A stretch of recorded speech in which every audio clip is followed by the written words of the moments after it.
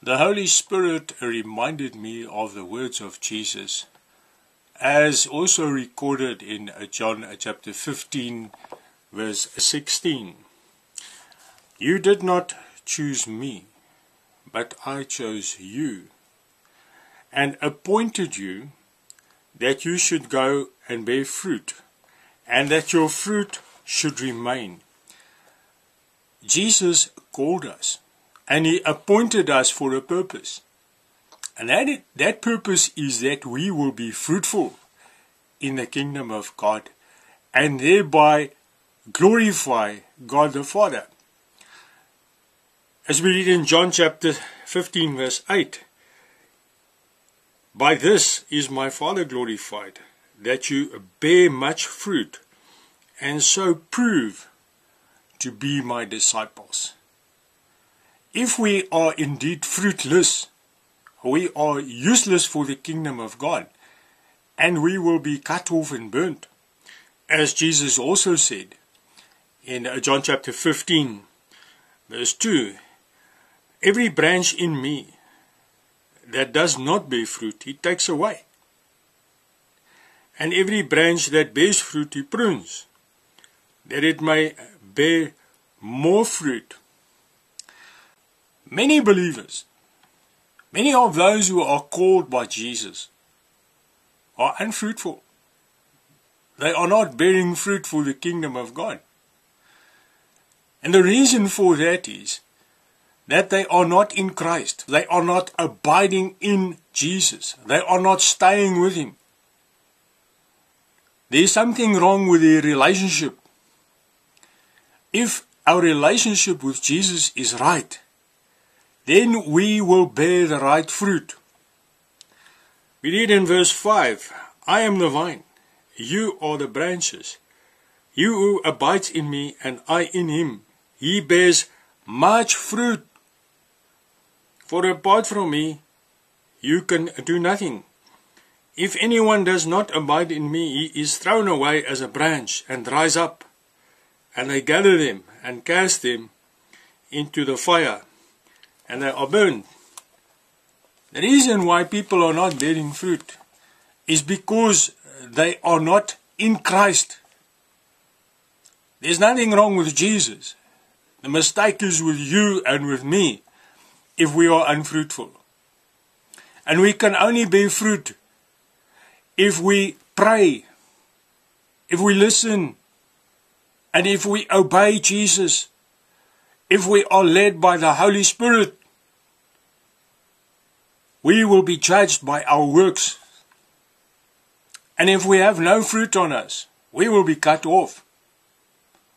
Paul also wrote in Romans chapter 2, verse 6, he says, God will render to every man according to his deeds.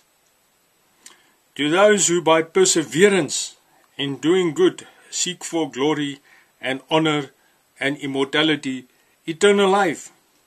But to those who are selfishly ambitious and do not obey the truth, but obey unrighteousness, wrath, and indignation, there will be tribulation and distress for every soul of man who does evil, for the Jew first, also for the Greek, but glory and honor and peace to every man who does good, to the Jew first, but also to the Greek, for there is no partiality with God.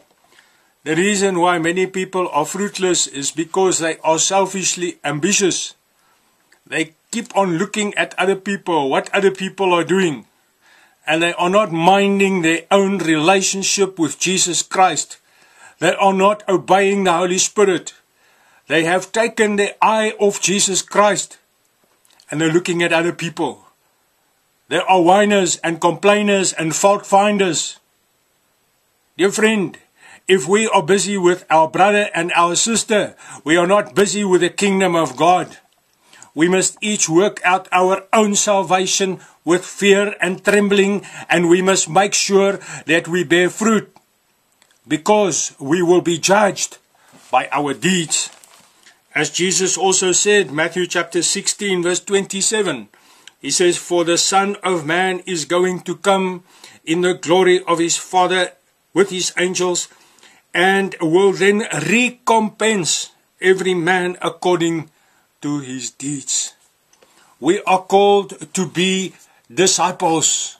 A disciple is a servant, and we are called to make disciples, servants of the kingdom of God that will bear fruit, that will make more disciples, that will glorify God the Father, and that will fill up his house with those who are redeemed from the unfruitful works of the flesh. Dear friends, if we do not bear fruit that will last, then we will be judged by the bad fruit that lasts. Our fruit must be good because we will be judged by our deeds. We must make sure that we remain in Christ, that we are led by the Holy Spirit, because if we are not led by the Spirit, our works, our deeds are fruitless because then they come from our own mind and our own initiative. Jesus said, without me you can do nothing. Dear friend, if that which you and I do are not from the Holy Spirit, then it is not from God. Then it, then it is from us. Then it is the unfruitful works of the flesh. We must be guided by the Holy Spirit. We must be taught by the Holy Spirit. Jesus said in John chapter 14, 26, He says, But the Helper, the Holy Spirit, whom the Father will send in my name, He will teach you all things and bring to your remembrance all that I said to you. Their training was not complete. Jesus had not told them everything that they needed to know. They had to wait for the Holy Spirit to guide them every step of the way. Dear friend, without the Holy Spirit, you cannot bear fruit. And you only get the Holy Spirit when you stay on your knees and when you pray and when you are led by the Holy Spirit. If you're led by your mind, then you become selfishly ambitious and then you work from your flesh and your fruits are of the flesh. Let us make sure that we do what Jesus called us to do. He called us and He appointed us to bear fruit that will stay. Fruit that will stay until eternal life.